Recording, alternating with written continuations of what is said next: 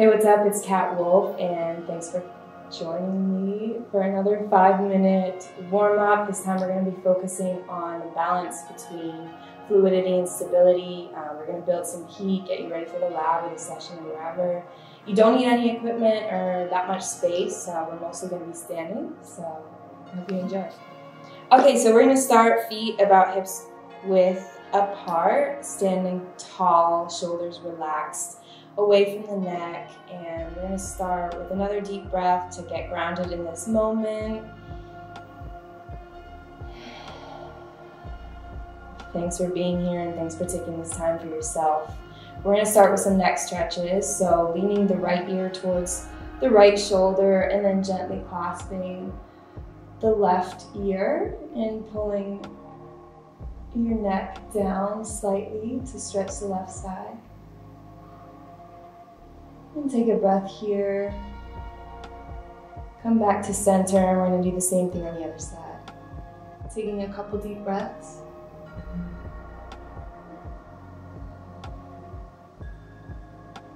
And then come back to center and clasp the hands, palms outward in front of you to get a little stretch there before lifting your arms above your head.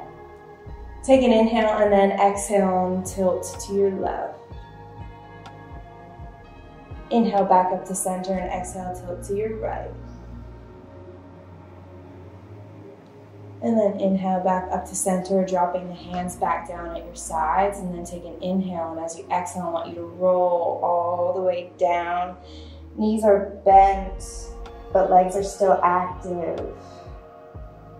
And then as you inhale, ignite the legs and then roll the spine all the way back up. Last thing up is your shoulders and your head. And then get grounded again, and we're gonna do the same thing over again. So inhale, and then exhale, roll it all the way down. Unite the legs and then roll it back up.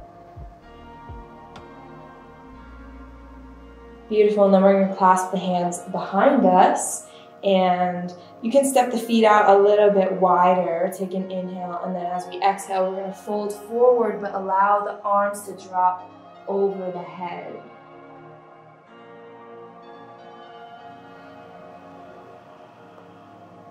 Hang out here. You can sway from side to side if that feels good. Find where the work is for you.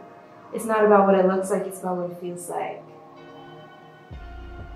And then we're gonna drop the hands and inhale to come up halfway. Hands can be at your knees or on the floor in front of you. And then exhale it back into a chair position, arms above the head. Ignite the legs and then exhale all the way up to standing, dropping the arms. Take another breath to get centered here. And then we're gonna go into some balancing. And we're gonna balance on the left foot first as we take some swinging motions front and back with our right leg. You can start off gently or as far as feels good to you. Maybe you can go a little bit deeper with it. And then take another breath and we're gonna switch sides, getting grounded into the right foot and taking these leg swings on the left side.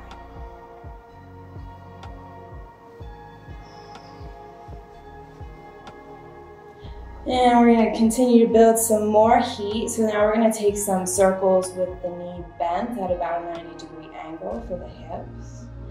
And do it about five times in one direction. And then we're gonna switch directions. Breathe. And then switch sides. Grounding into the right foot. Switch directions. Core should be active, shoulders relaxed against the back. Okay. And then we're gonna take the right leg up in front of us as high as you can go, keeping the core active and not digging too much into the joint. And then we're gonna draw some circles in a clockwise direction for five times. And then switch directions. And then we're gonna pulse it out for 10, 9, 8, 7, 6, 5, 4, 3, 2, 1. Good job. Now we're gonna switch sides, so take a deep breath.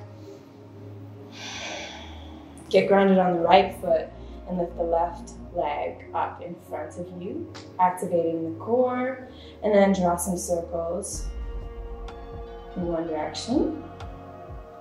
And then the other direction. And then we're gonna pulse it out for 10, 9, 8, 7, 6, 5, 4, 3, 2, 1. Good job. Take an inhale, arms up to the sky. Exhale, fold forward. And inhale all the way back up. Exhale, arms at your sides. I hope that helped you build some heat and felt good in your body. Thank you so much for joining.